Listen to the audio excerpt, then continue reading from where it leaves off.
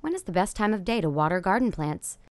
Usually, first thing in the morning is the best so that the plants have time to dry off. Um, late evening waterings can often lead to disease and the spread of disease.